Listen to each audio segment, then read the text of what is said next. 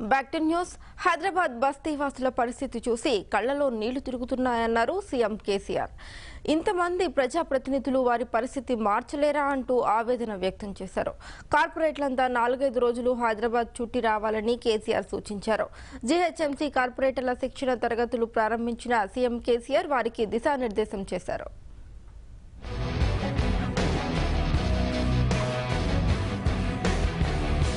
Greater TRS కార్పొరేటర్ల workshop ప్రారంభమైంది.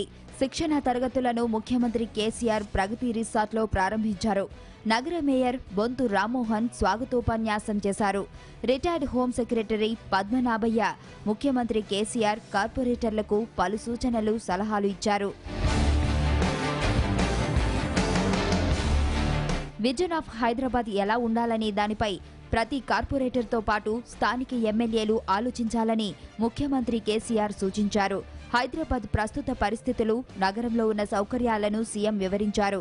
గత పాలకుల వల్ల హైదరాబాద్ అధ్వాన్నంగా తయారైందన్న కేసీఆర్ విశ్వనగరం హైదరాబాద్కు ప్రత్యేక మంచినీటి సౌకర్యం ఉండాలన్నారు. పట్టుదలతో పనిచేస్తే ఏదైనా సాధ్యమేనన్నారు సీఎం కేసీఆర్.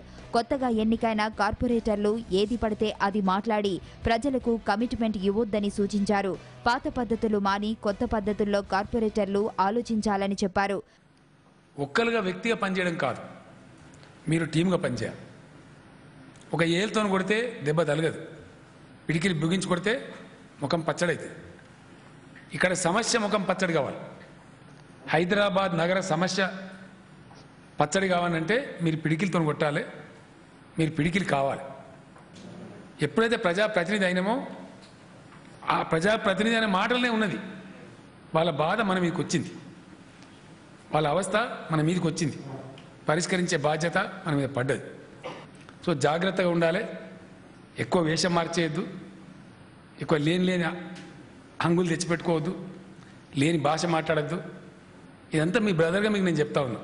భారతదేశంలో చెట్ల సంఖ్య ఇతర దేశాలతో పోలిస్తే తక్కువగా ఉందని నగరంలో విస్తృతంగా చెట్లు నాటాలని అన్నారు.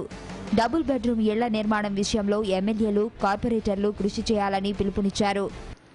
ఎక్కడైతే చెట్లు బ్రహ్మాండంగా ఉంటాయో అక్కడ నీళ్ళు కూడా ఉంటాయి ఆటోమేటిక్గా వర్షాలు కురుస్తాయి. కరువు కాటకాలు రావు.